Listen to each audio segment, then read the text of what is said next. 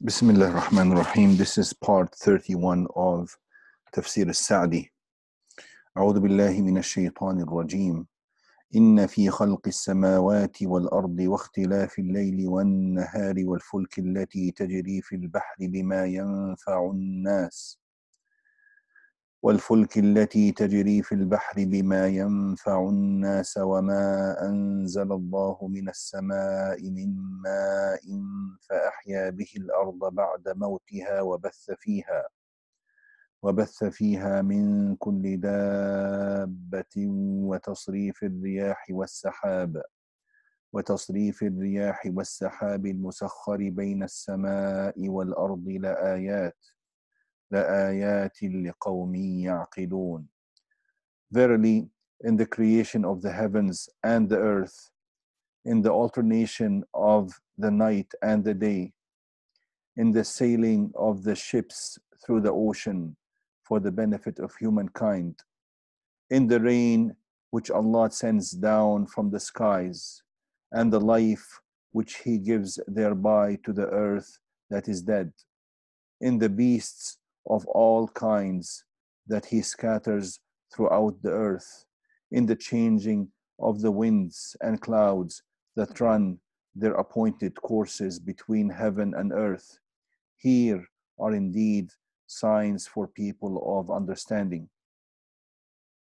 Here Allah tells us that in these created beings there are great signs, that is, evidence of the oneness and divinity of the Creator, and of His great power, mercy, and all other attributes. But they are signs for the qawmi yaqilun, for people of understanding, that is, for those who use their minds for the purpose for which they were created. So, according to the level of rational thinking with which Allah has blessed His slave, that person will be able to benefit from these signs and recognize them by way of his reasoning, thinking, and pondering.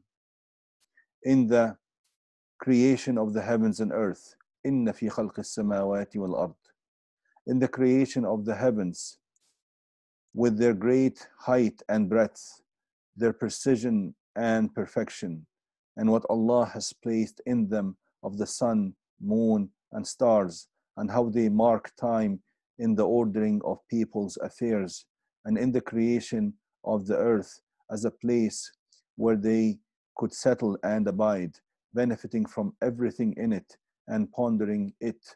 There is an indication of Allah's unique powers of creation and control. This highlights His immense power by which He created it, His wisdom by means of which He perfected it, designed it beautifully, and regulated it, and His knowledge and mercy by means of which He placed what He placed on earth of things that are beneficial to humankind, serving their interests and meeting their needs. Serving their interests and meeting their needs. In all of that, there is the most eloquent proof of His perfection, and that He alone is deserving of worship, because He alone creates and controls and takes care of His slaves' affairs. واختلاف الليل والنهار in the alternation of the night and the day, which constantly follow one another. When one departs, it is succeeded by the other their alternation. This alternation of night and day results in alternation between heat and cold and moderate temperatures, and between long and short days and days of moderate length. All of that in turn leads to the seasons, the order of which brings great benefits to the sons of Adam and their livestock, and to everything that is on the face of the earth of trees and plants. All of that is in accordance with the system and plan in such a way that dazzles the most brilliant of minds. This is indicative of Allah's great might, knowledge, wisdom, vast mercy, all-encompassing kindness, and full control, which and full control which is His alone. His might is the might of sovereignty and power, which dictates that He alone should be venerated and worshipped, and He is the only one who should be loved, the only one whom we should fear, and in whom we should put our hope and strive to attain His love and pleasure.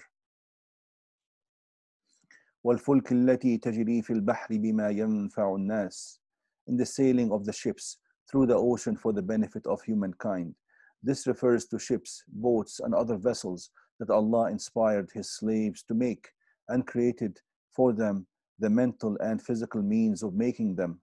Then He subjugated this vast ocean for them and the winds by means of which they move, carrying passengers, wealth, and goods that are essential conveniences for people in such a way that serves their interests. Who is it that inspired them to make them, enabled them to do so, and created for them the means of making them? Who is it that subjugated the sea for them, so that they travel in it by his leave and his subjugation of the winds?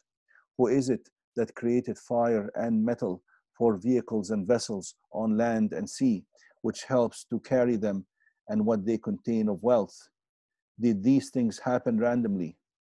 Or are they all made by this weak and vulnerable creature who emerged from who emerged from his mother's womb with no knowledge or ability?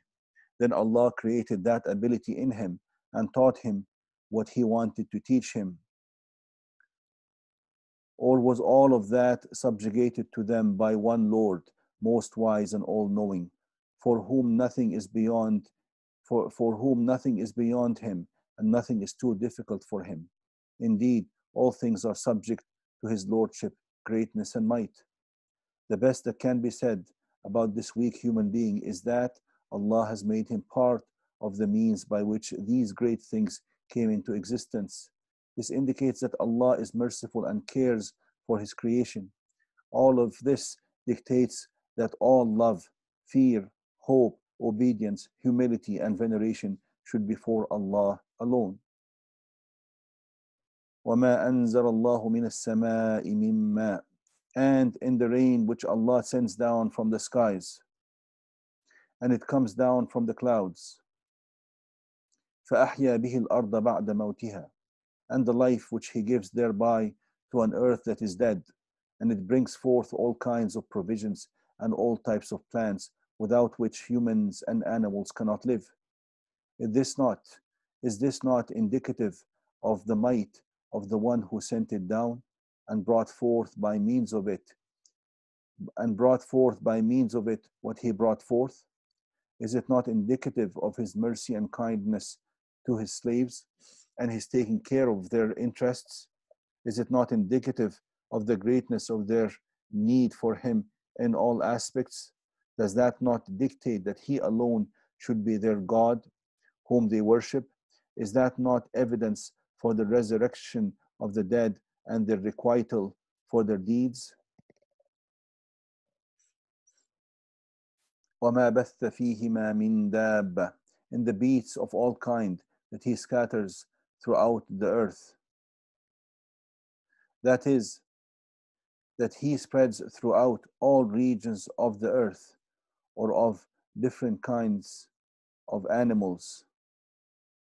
This is indicative of his might, greatness, oneness, and sovereignty. He subjugated them for humankind so that they benefit from them in all ways. They eat the flesh of some of them and drink their milk. They ride some of them and use others for various tasks and to guard them. They learn lessons from some of them. As he has scattered beasts of all kinds throughout the earth, he also takes care of their provisions. He also takes care of their provision. There is no living creature on, on earth, but its provision is due from Allah. There is no living creature or there is no living creature on this earth, but its provision is due from Allah. He knows where it lives and where it dies. In the changing of the winds and clouds, hot and cold, north and south, east and west, and everything in between. Sometimes the wind generates clouds, sometimes it joins the clouds together into a heap, sometimes it fecundates the clouds, sometimes it causes rain, sometimes it breaks up the clouds, removing their harm, sometimes it brings mercy, and sometimes it brings punishment. Who is it that controls the winds in this way and creates in them benefits for people which they cannot do without? Who is it that generates them so that they become a means of survival for all kinds of animals and all living things, such as trees, grains, and plants? It can be none other than the Almighty, the Most Wise, the Most Merciful, who is kind to his slaves and is deserving of all humility, submission, love, devotion, and worship. In the subjugation of the clouds between heaven and earth, in the subjugation of the clouds between heaven and earth, which despite their lightness and fragility carry a great deal of water, which Allah drives wherever He wills, and it brings life to the land and the people, irrigating the hills and valleys, is an indication of His great power, kindness, and mercy. He sends the rain down to humankind at the time of need, but if they will be harmed by its abundance, He, withhold, he withholds it from them. He sends it down as a mercy and kindness and directs it in accordance with His care and compassion. Is it not reprehensible on the part of His slaves that they should enjoy? Is it not reprehensible on the parts of His slave? Is it not reprehensible on the part of His slaves that they should enjoy this provision and live by His kindness, yet they use it for sinful purposes that incur His wrath? Is this not indicative of His forbearance, patience, tolerance, and of the extent of His kindness? Praise be to Him at all times and in all circumstances. The point is that the more a man of understanding thinks of Allah's creation and thoroughly examines the wonders thereof, the more he thinks of the amazing design and what he has created in it of things that are indicative of his kindness and wisdom, he will realize that it was created for the truth and by the truth.